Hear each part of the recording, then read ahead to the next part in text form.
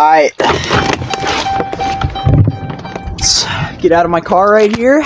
We uh, are walking over to the mailbox right now because I should have a package in here and uh, we're gonna do a little unboxing.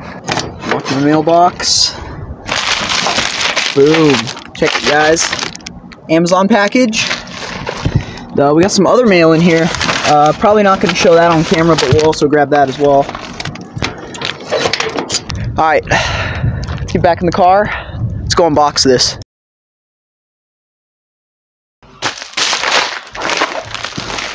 Alright, made it back to the house. And I actually have uh, two packages for you guys to uh, unbox right here. This is actually all ice fishing gear. And uh, the reason why is because as of probably two years ago, I barely have any ice fishing gear. I just have an auger, a few ice rods that I actually made myself. So I don't have much ice fishing gear. So I figured I'd go on Amazon and uh, snoop around, see what I could find for the cheapest I could get. And uh, you're about to see what I got. So first thing, we're going to show you what's inside this package right here. So I got my fancy knife right here. I'm going to use it as a uh, letter opener. I'm just going to go ahead and... That's like a hot knife through butter. And uh, first off, we got an assortment of ice fishing tackle. And the reason why, actually this is a lot smaller than I uh, anticipated. The reason why I got this stuff right here, this is by uh, QualyQualy, I believe it's called. And it's uh, an assortment of uh, Rapala jigging raps, looks like, or style baits. And then it's got a bunch of different ice fishing jigs, tungsten jigs. Uh, the reason why I picked something like this up is I absolutely have no more ice fishing gear, like lure-wise or jig-wise. So I figured I might as well pick some up right there. And uh, we'll go ahead and actually open this up and uh, take a look at some of the hook quality and stuff like that. Okay, okay. Pretty uh, standard box right here. Uh, go ahead and open it up. Let's see what we got. Okay, okay. Oh, wow.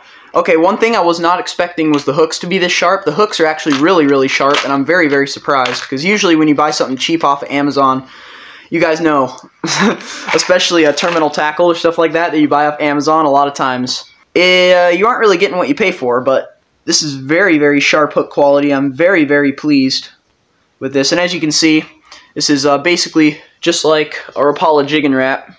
Looks just like it. Uh, so it's kind of a knockoff, but uh, we got some of those, and uh, we got another one right here in a little bit smaller uh, size right here, a little bit different pattern. One thing I'm noticing about these baits is that these are actually pretty heavy. I'm actually really, really surprised um, on the weight of these guys. I'll go ahead and look at uh, the jig um, quality real quick of uh, the tungsten jigs. Go ahead and pull a tungsten jig out. Test the quality of these hooks right here. And like I said, uh, pretty standardized tungsten jig. Um, I don't see any problem with them. Uh, they're actually pretty heavy, which I really, really like. These are going to be great for tipping with uh, night crawlers, wax worms, uh, centipedes, whatever, um, and catch all those uh, fish through the ice. By the way, if you guys want to buy any of this gear, uh, I will have a link down below where you can, they're Amazon links, they're not affiliate or anything like that, but you can click them and you can buy this stuff down below. That's it for that package. Let's uh, move into the next Amazon package right here. So, next thing I bought was I knew for a fact that I've been ice fishing before in extremely cold weather, and it really, really sucks if you don't have any ear, ear protection or head protection. So I went ahead and picked up a uh, Mossy Oak uh, Hunter's Orange um, cap right here. This is going to help me out with the uh, cold wind and stuff like that. And it's actually pretty thick, too. I actually really am impressed by that. And uh, Mossy Oak, pretty uh, trusty brand. And this way when I'm uh, out on the ice and it starts to get windy or something like that, put this on, protect my ears uh, from potentially getting an ear infection. Alright, so the uh, last thing I have is I just have uh, one more thing in this package. And this is more of a safety item because I realize that my life is pretty important out on the ice.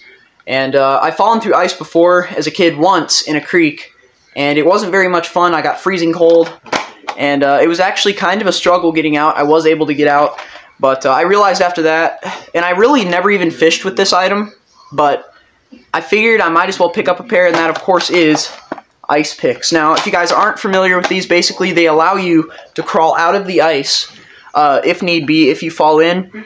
And this is literally the cheapest ones you can get. They're not Frabill or anything. They're actually Eagle Claw, which are the cheapest brand of uh, ice picks or any type of gear you can probably get. And I think I paid like, I think 750 8 bucks for these. Pretty standard pair of ice picks. Looks like pretty sharp.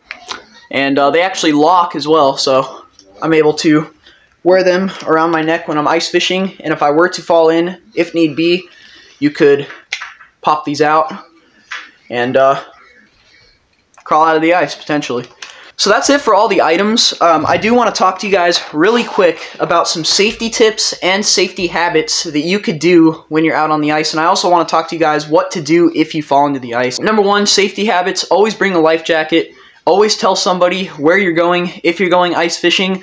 Always bring safety picks. So now we're going to talk about what to do if you fall through the ice. Number one, guys, and this is actually a big mistake that I made when I was 10 years old when I fell through thin ice. Stay calm. If you can save your energy, chances are you're going to be able to conserve that energy to be able to get out of the ice. And that also goes with do not panic. If you panic, you're going to release energy faster. You need to save that energy. Number two, face the direction where you came from before you fell into the ice because chances are that's going to be the strongest ice. Number three, focus all your thought and your brain about getting out of the ice, which means if you have your ice picks around your neck, you can then pull off your ice picks and you could keep them around your neck and you could force yourself out of the ice with the picks because let's be honest, I know this from experience, it is very, very hard to get out of the ice if you do not have anything to crawl out of right here. And I actually cannot believe I didn't buy these sooner, given the price. But, uh, and then after that, get out of the ice. You actually want to roll on the ice. Don't stand up because you could fall right back through. You want to roll to distribute your weight evenly. Get up about 20 feet out away from the hole. Then you can stand up on your feet and get to safety.